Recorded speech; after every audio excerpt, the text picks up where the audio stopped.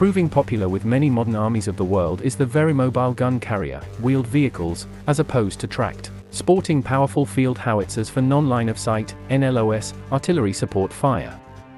The nation of Ukraine, still embroiled in a war to its east with neighboring Russia, introduced, in 2018, one such design designated locally as the 2S22 Bohdana.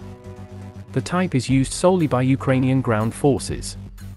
The system is a mating of the KRAZ 6322 series diesel-fueled truck chassis and a proven 155mm field howitzer gun system. The former comes complete with armoring at the vital sections, the crew cabin in particular, while the latter brings along with it the necessary traversal, elevation, and recoil gear for effective battlefield performance.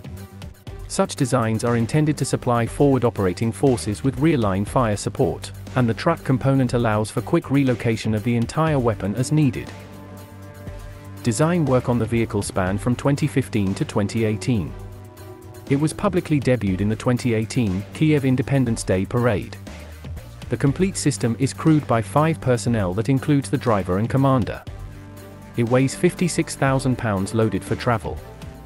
The truck component of the 2S22 is of conventional arrangement with the engine set at the bow and the driving cab, crew cab seated directly aft. The middle to rear section of the truck is of a flatbed design allowing the gun system to be placed directly onto it. The installed diesel engine unit is rated between 380 and 420 horsepower output, and provides the truck with an on-road driving range of about 1,200 kilometers, 745 miles. The gun portion of the S2SS retains all of the capable elements of a modern 155mm field howitzer. It sports a long gun tube with a heavy-duty, multi-baffled brake at its business end. The weapon is rated for 4 to 8 rounds per minute sustained and has a reach out to 40 kilometers. This is considerably broadened with rocket-assisted projectiles, RAPS, offering engagement ranges out to an impressive 60 kilometers. Up to 20 ready-to-fire projectiles are carried on the truck itself, additional reloads requiring an accompanying ammunition carrier.